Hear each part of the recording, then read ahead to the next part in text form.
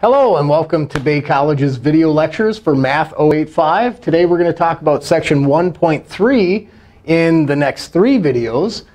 Uh, this section deals with multiplying and dividing whole numbers and an introduction to area, which is an application to multiplying. We're also going to touch on averages, which is an application of dividing. But we'll see those in the later videos. Now, this is part one of three. And the first thing we're going to look at is multiplication. Here I have my representation of an egg carton. And if I were to ask you how many eggs are in there, you could go through counting them. Or you could look at it in terms of, well, there are uh, four eggs in a row and four eggs in the other row. And if I add those up, I have eight eggs in this carton. Now, what I'm doing here is I'm adding 4 to 4. I'm re repeating an addition. When we have repeated addition, that is the definition of multiplying. And when it comes to multiplying, we can rewrite this. I have 4 two times. Times is a word that we use to indicate multiplication. So if I have 2 times 4, and what I'm introducing here is a multiplicative dot, and you'll see that right here. And we'll talk about that in a second. 2 times 4 is also 8. So we get the same result. I have two rows of 4. Now, some of the terms I used was in just not just multiplication, but I also said the word times, and I used the word of. Of is a key word in a lot of application problems that tell us to multiply. I have two rows of four eggs which gives me a total of 8 eggs. This is called the product, and these are called factors. The values that we are multiplying together are factors, and they give us a product. So just to uh, make sure you understand the different representations of multiplication, we have 2 times 4, and sometimes we use this x. As we advance in math, we find that this can be a little confusing, especially when we introduce variables. And we talked about variables in a previous video. Here we have the multiplicative dot, 2 times 4, also equal to 8. But this is just another way to show multiplication. Sometimes we use an asterisk, 2 times 4. It says the same thing as our x, or our multiplicative dot. And then this one here, this is called multiplication by adjacency. One of our values is in parentheses. It's saying 2 of what's in this parenthesis, 2 times 4. So that's also multiplication. Here we have multiplication as well, except both quantities are in parentheses. Multiplication through adjacency, we have 2 times 4. The quantity 2 times the quantity 4. So be aware that all five of these different representations mean multiplication. So next, we're going to take a look at some of the properties of multiplication. And the first one is the multiplication property of 0. One thing we should know, if we have any number, which I'll call a, times 0, well, any number times 0 is 0. And this is the multiplication property of 0. 0 times anything is 0.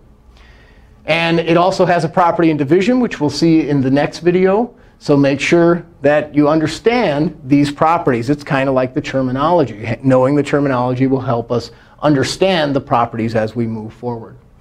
The next one is the multiplication property of 1. Well, if I have any number and I multiply it by 1, it equals that value. This property is also called the identity uh, property of multiplication.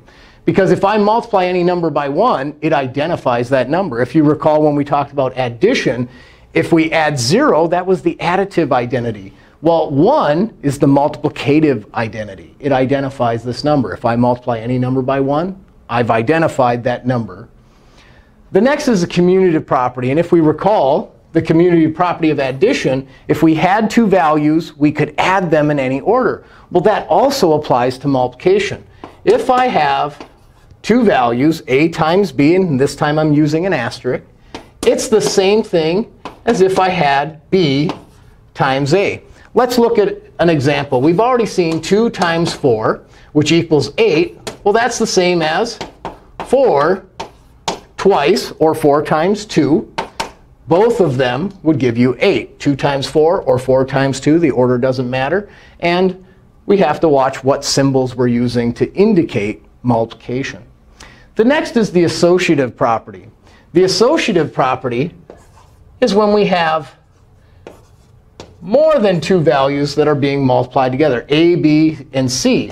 Now, we could multiply the first two values together. And now I introduce the parentheses. Still means the same thing. a times b is all multiplied by c. Or I could say a times b times c. Again, the order that I multiply them doesn't matter. I could even say a times c times b in that order, and I'll still get the same value. That is the associative property. Now there's one more property of multiplication, and we're going to move over here. The distributive property basically says if we have the sum or the difference, we can distribute this multiplication to each value within those parentheses. So if I have a times b plus c as an example, it could be plus, it could be minus, doesn't matter. I'm going to distribute this to each value. a times b and a times c. And then I could do the addition if I knew what those values were. And that's called the distributive property. I can distribute to each one. Now, if we look at this example, I could say 4 plus 2 and is 6, and then multiply it by 3. 3 times 6 is 18. But I want to show that the distributive property holds true. So if I say 3 times 4 is 12, and 3 times 2 is 6, 12 plus 6 is also 18. So we get the same result. So the distributive property holds true. One thing that'll be very beneficial before you even get too far into this section or attempt the homework is make sure you know your multiplication tables. You have to know how to multiply. So make sure you review that. Here I have a difference. So I'm going to say, well, OK, I'm going to use the distributive property because I have these parentheses. 3 times 8 is 24. And 3 times 6 is going to give me 18. Now I can find that difference. 24 minus 18 will give me 6. Well, let's see if that holds true. 8 minus 6 is 2. 2 times 3 is 6. So we get the same result. The distributive property holds true. This will become very useful when we do introduce variables into equations, because we can't find the difference of a number we're not sure what it is. Now this one here, we have 7 times 36. We don't see this sum or difference, but we can still use this tool of the distributive property. Now, usually when we multiply numbers, we write them horizontally and we multiply.